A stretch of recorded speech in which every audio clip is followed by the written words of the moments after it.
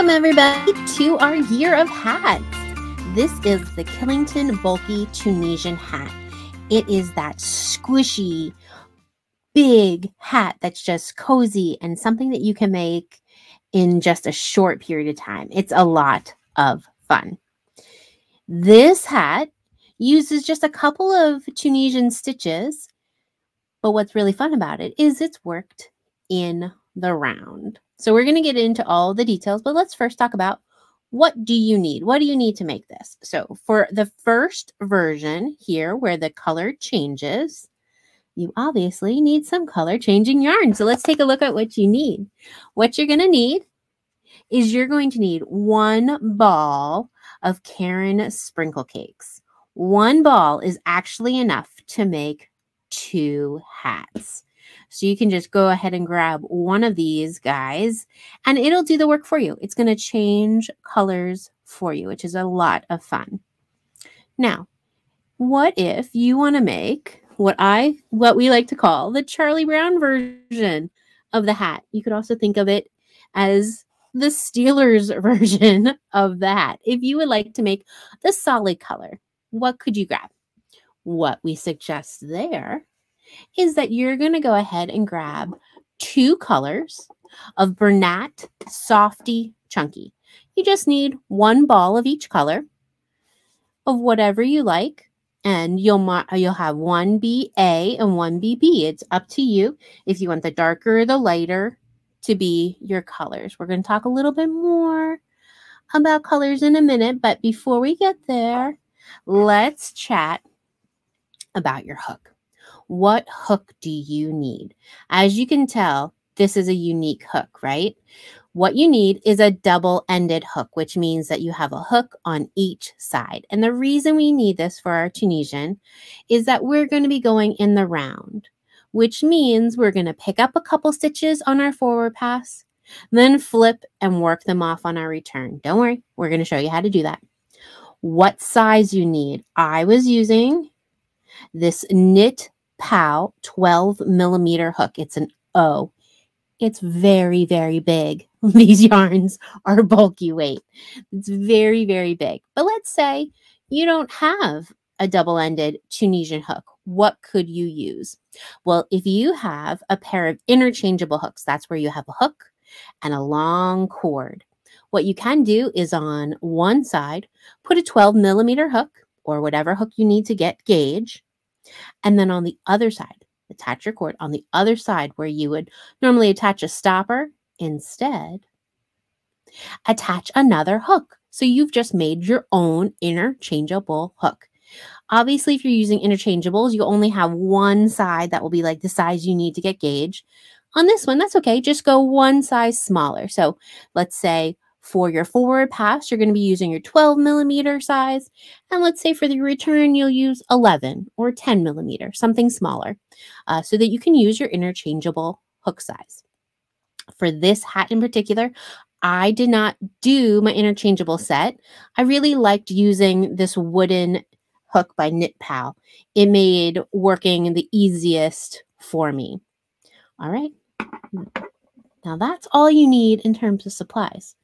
But if you notice in the pattern, there's something very special I need you to do.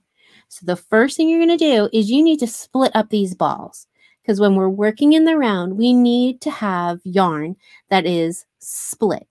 So whatever color you decide to be your A color, if you're using the Bernat Softy Chunky, I need you to cut it into two balls, which all it means is I need you to wind up so you have two balls of yarn you'll be using this. When I tell you this, if this is your B, you'll be using this. What if you're not using two different colors? What do you do then?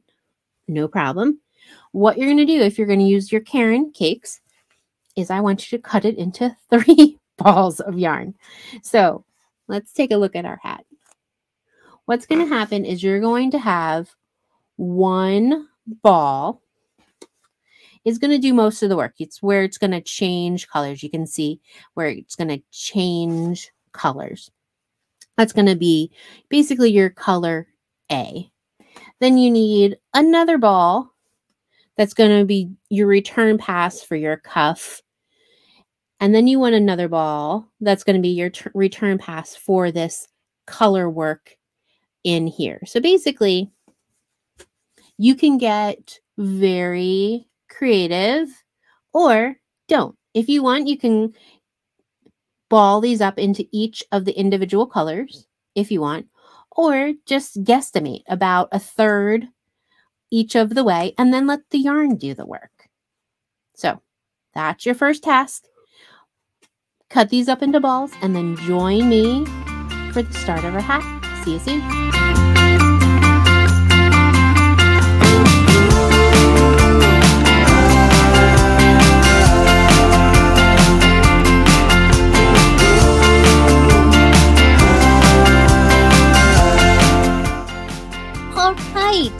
Let's get into this hat. It is super fun to make. What you want to do is start with a chain 40, which will be the circumference of our hat. We work our hat in the round, in the round, going from our cuff all the way to the top of our brim.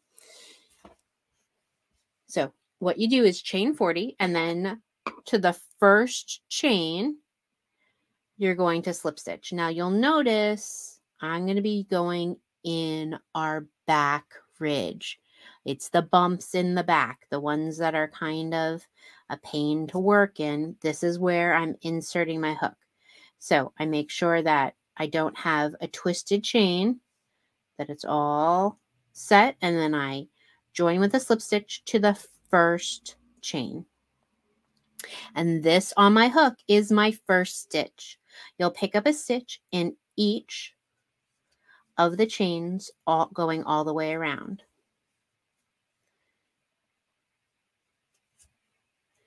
Using the bulky weight yarn, it's a little bit easier to get your hook in there. If it is not easy, feel free to rip out remake the chain in a hook that's slightly bigger so your chains will be bigger. But you're going to pick up a stitch in each chain going around. What you'll notice is when you use that back bump, you get these beautiful V's on the bottom because we don't really finish it. You can see the V on the bottom of my hat. So that's why we want to go through this little bit harder, trickier way of going in our chains. Of course, if this is frustrating, you can always use go in go in wherever it's easiest for you. Don't worry about what the edge looks like. It'll look a little different than mine, but if this is frustrating, taking a little too long, long, feel free to not go in the back bump and go into any loop that you want. All right. Once you have a comfortable amount picked up on your forward pass, because we're working in the round, we keep working in the round. When you get to a comfortable amount, you're going to turn it around and you're going to start using your second color A. So if you're using that cake yarn, just to note any two balls as your color A. Make that color be something that's really vibrant and different. All that is in the notes, so you'll be able to see the color difference. Well, when you come, and now we're ready to do our return pass, what you're going to do is fold in your other color or your other ball of A. You're going to fold in your color and you're just going to yarn over, pull through one. Now we will yarn over, pull through two all the way around our work. So from here on out, there's no more yarn over pull through one when you get when you get to the start of your round. It's always going to be yarn over pull through two because we're working in the round. You keep yarning over pulling through two when you're working in the round until you get to about, you know, two stitches left, just a few. Then you turn it around. I like to move You'll notice I switched my balls around just so that the ends don't get tangled. And I'm going to go ahead and go back to what I was doing, just picking up a stitch in each. So you go ahead, pick up a stitch in each, and you can come back when we get to round two.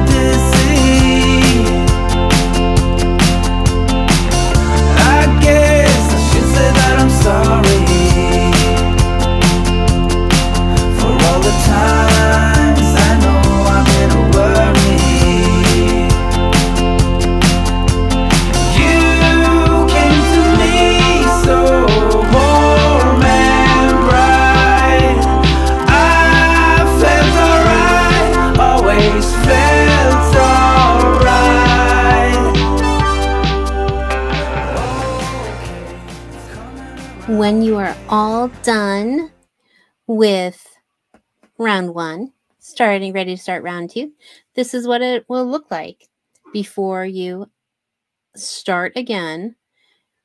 You go all the way around. What you might want to do is what I like to do is I like to mark off where my first stitch is when I'm going around and around because after a while it's all going to kind of start looking the same. So if you want to grab a stitch marker and mark off for yourself where the first stitch is. It can be kind of helpful to give you a visual clue of where you're going. Also, you'll know that you're back at the beginning when you have these tails to deal with. But it's optional if you would like to mark off where you start. To get moving from this part, now we're going to start our pattern, which is going to be where you can see here. There is a Tunisian knit stitch and a Tunisian purl stitch. So all of our stitches are the vertical strands. These are all of our stitches. That's where we're going to be placing our hook. To do the knit stitch, you're going to insert your hook between the vertical bars, yarn over from behind and pull up a loop. Now for your purl, you're going to put the yarn in front of your work, insert your hook like you're doing a Tunisian simple stitch, wrap the, round, the yarn around from the front and pull up. Now we'll do a Tunisian knit stitch. Insert your hook between these two vertical bars, not between the stitches, but between the two vertical bars. You got it right if the stitches now sit like two straight lines. Now a Tunisian purl stitch. Pull your yarn to the front, insert your hook into the next stitch, wrap around, pull up a loop. Knit stitch. Insert your hook between the two vertical bars, pull up a loop purl stitch. Move your yarn to the front. Insert your hook like you're doing a simple stitch. Wrap around from the front, pull through. Again, a knit stitch. Between those two vertical bars, yarn over, pull up a loop. Purl stitch. Insert your hook with your yarn in the front, wrap it around the stitch, pull up a loop. You can review doing knit and purl stitches in our Tunisian boot camp series. After a while, you kind of get in the rhythm of doing it. You'll keep doing these stitches until you have a good amount on your hook. I go about a third of the way around the hat, or you can really do any amount that you want. Then you're going to turn your work and keep working them off yarn over, pull through two, yarn over, pull through two, and you'll keep going. You will see that we're going in a spiral. There'll be a visual jump, like a visual bump. The first goes down a little bit. We'll even this out later when you weave in your ends. But don't worry, you wanted to make this easy. Just keep going around and around in a circle. It's basically a continuous spiral all the way up your hat is what we're making.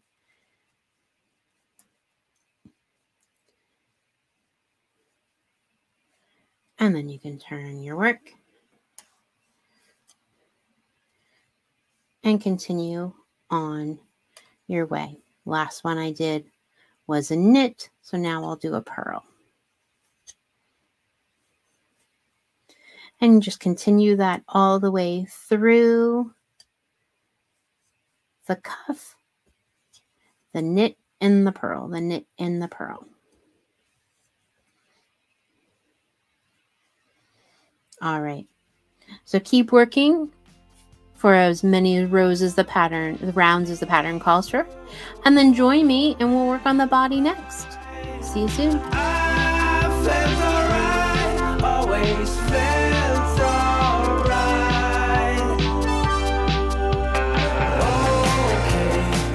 Yay, we're ready for the body. We're going to be working in the round again no decreases. This time we'll be using the Tunisian knit stitch, which we've been doing and the Tunisian reverse stitch, which basically shows off all of the return passes you've been doing.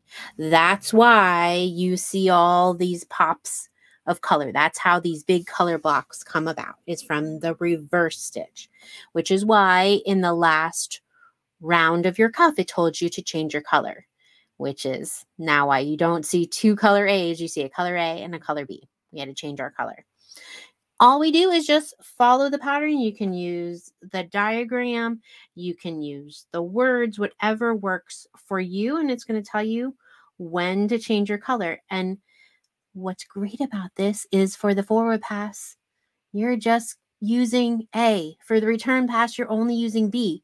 The changing the color is only because the re- the reverse stitch that we do pops that color forward. So there's actually not color work. Oh, it's like a surprise. I love it. Okay, let's do it. Round one. I'm just, just going to do a bit of round one because you'll be kept onto this real quick. You'll notice, yes, I marked my first stitch. I just like to know where I am in our pattern. So I got my first stitch. I'm ready for the first stitch of the row. In this one, it's two knit stitches. So I'm going to do knit stitch. I'm going to do a knit stitch. Okay. Now I'm going to do a reverse. In the reverse, you're going in the back bar. The front bar is where we are Tunisian simple stitch. We're going to insert our hook back here instead with the yarn in the back and pull up a loop. And boom, our color is sitting where color wasn't. So this is our pretend color work.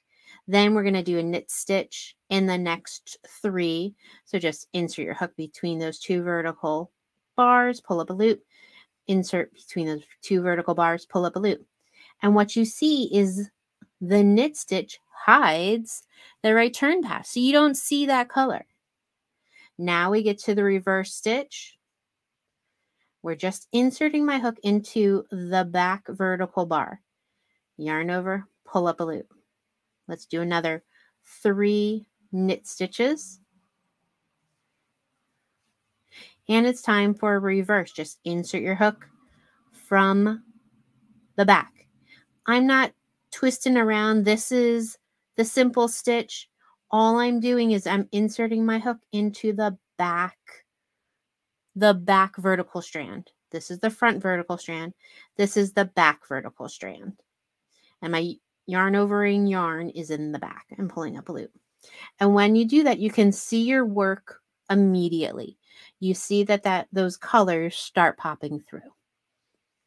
When you get a comfortable amount in, now it's just time to work them off. And again, it's just yarn over, pull two, yarn over, pull through two, all the way across. This, the work that you're doing right now, sets it up so that you can do color work on the next round. So the, when you're working off on the return pass, it's always setting it up for if you're going to do those reverse stitches, it'll be for next one. So you have color available for the next row. And you can't tell now, but basically, if you look at it like this, this is all you'll see. These all get hidden behind. So you're just going to follow the directions. It's going to tell you to do a different amount. This one was one reverse with three knit. Then on the you're going to go for the next two rounds. It'll be three reverse and one knit, and you'll space it out. So you're just going to follow that pattern, and then we're going to work our decreases together to show you how to do those. Exciting. All right. Go have fun, go play, and I will see you soon.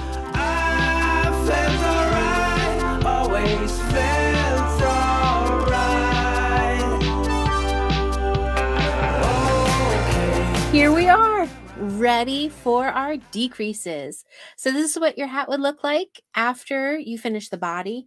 We have our cuff, our body. Now we're just ready to close it all up at the top.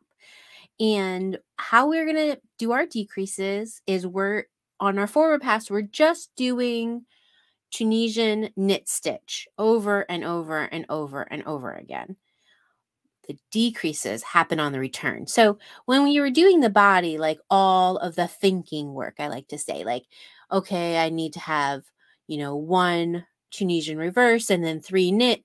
That was all happening on the forward pass, and you kind of got to relax on the return pass because all that you were doing is yarn over pulling through two, yarn over pulling through two.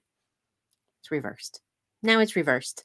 So now all of your thinking happens on your return pass not your forward pass. Your forward pass will be real easy. It's just a knit stitch. Just all you're doing is just knit, knit, knit over and over again. But when you're returning, this is where we're going to start to decrease. And the reason that we do this is if you can see on this hat is when we're decreasing, we really need these lines to start to come together. And when you have anything going on in your return pass that could be a slightly different color, you want to have it to be your knit. You know, you want your decrease to be happening on your return pass, not your forward pass. Because if your return pass is slightly different color, you're gonna it's gonna pop through. If you have kind of speckly yarn, you won't really notice it. But if you have solid color yarn like this, you don't notice it at all. But it does come through. Like if you still have your high contrasty color going on here, you're not going to mm. like the look. It's going to be too much color. So when you're doing your Caron cakes, you don't see it as much. You know, you you're not noticing it as vibrantly if you are using the solid color yarns, this is where I tell you to go back to your return pass being the A balls. I mean, you're still going to be using the A balls with your Caron cakes, but they can be a slightly different color. Um, but here, you want the same color. All right, let's hop in. The way we, we do this is that all that we're going to do is we're going to pick up and do knit stitches. So that's just inserting your hook between these two vertical bars, picking up a loop. So we have our next two vertical bars, pick up a loop. Insert between those two vertical bars, pick a loop, a loop. This is your forward pass. This is the only thing you do in your forward pass. Just knit all the way.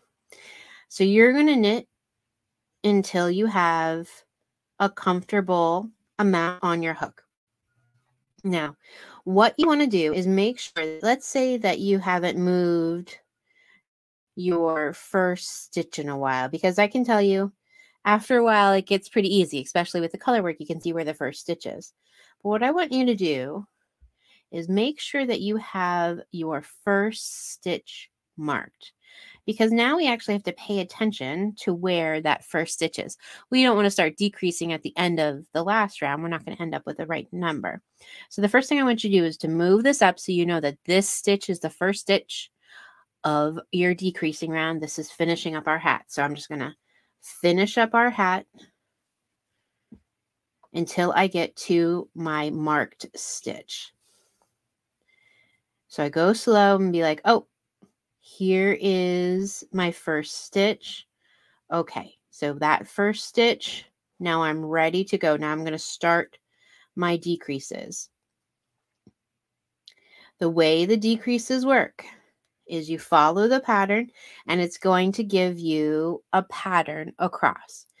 What it's telling me to do is you're going to yarn over pull through two twice just to get in the rhythm. So that's not decreasing anything. So I did it for the first one. So I'm going to do it for the second one. So essentially think of it as I just did regular stitch and a regular stitch, yarn over pull through two. Now it wants me to do a decrease. The decrease is just yarn over pull through two stitches or three loops on your hook. Either way to look at it. So yarn over, pull through three loops or two stitches. That's your decrease. Now it tells me to just work your loops off as normal for three stitches. One, two, three. So I'm going to yarn over, pull through two. Normal way of doing it. Yarn over, pull through two. Still normal way of doing it. Yarn over, pull through two. Again, we're just, we're not decreasing. Each one of these has been worked off and not decreased. Remember, our decreases would put two stitches together. Now we're going to go ahead and yarn over, pull through two stitches, or you look at it as one, two, three loops on your hook. And when you get used to looking at it as either way, this is not a stitch, this is your return pass. Think of this as like your free loop on your hook. These two are stitches. So you can either look at it as yarn over pulling through two stitches. I like to look at it as that because that means that in my brain, yes, this is making a decrease. But what you're actually doing is yarn over pulling through three loops on your hook. You'll notice that I don't use loops and stitches interchangeably. They're very different because um, you can easily get confused. So then yarn over, pull through three loops on your hook. When I'm working this decrease, this this way of decreasing, I should say, in the round, I like to turn and go back and pick up stitches after I've done the last decrease. It helps me remember where I was in that pattern because it's basically decrease, three regular stitches, decrease, three regular stitches for this first round of the crown. And that when you're coming over here and picking up, picking up, picking up, it can be really easy to forget where you were in that pattern. There's, you know, you're like, uh, I don't remember what I was doing because this is just rhythmic and you're, you know, relaxes your brain. You can really, really easily forget where you were. You're like, okay, great, time to turn. And then you go, uh oh, uh, where was I in the pattern?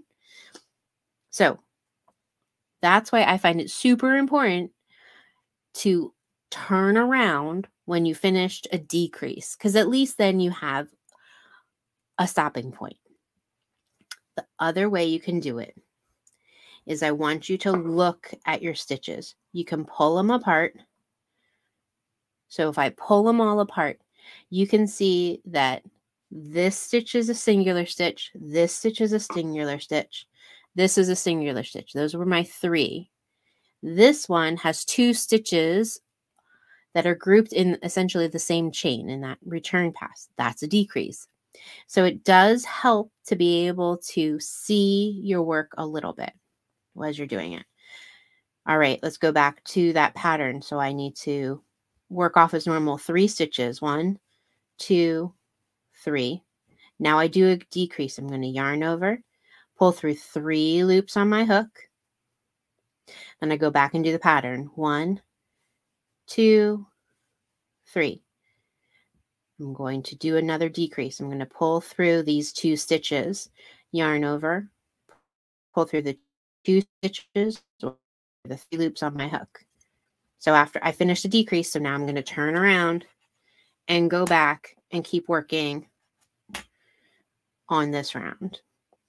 So the decrease part of the crown is very simple. Yarning over, pulling through three loops on your hook, that is not the hard part of this crown. The hard part is remembering where you are. Um, it will definitely, it definitely taxes your brain. It's one of those things because it's so simple. This is so simple, right? That was so easy to pick up. And then you turn around and you, it's almost like you forgot everything because everything up until now we've been able to see. So, this is where I want you to be able to look at your work, look at the past of where you were, and you go, okay, these three stitches, they're sitting out on their own. I can see that. I can see there was a decrease here. So I finished on a decrease. Now I'm going to go back in the pattern of the round, which was one, two, three. All I did was work three stitches off as normal. Then I do a decrease, yarn over, pull through three loops on my hook. There's my decrease. One, two, three. Now we do a decrease, yarn over, pull through. All right. So as you go, it is the only key here is to keep track of where you were on your return pass. That part is not easy because it was really easy when you were working in the round to see where you were um, because the color popped right out at you. It's not as easy on the crown, but keep in mind what you're doing is really, really easy. If you want, what you can do is keep track of every time you do a decrease because the pattern is going to tell you how many decreases you have for each round. So if you want, you can put a little mark on a piece of a scrap paper. It'll be like, okay, I did one, I did two, I did three, so that you can keep track. Because if you didn't put them exactly where I have it listed in the pattern, that's okay. It's all right. As long as you're decreasing the right amount each crown, it'll be okay if they're slightly offset. But basically, this that's all you need to know for the whole rest of the hat. Is it's just going to be following those decreases in the pattern. When you get to the top, you're just going to have a long tail, weave through the little bit of the hole that's at the top, and you're done. Weave in your ends here, and you got yourself a squishy, wonderful hat that you have. Add a pom pom to the top if you would like. I know we do.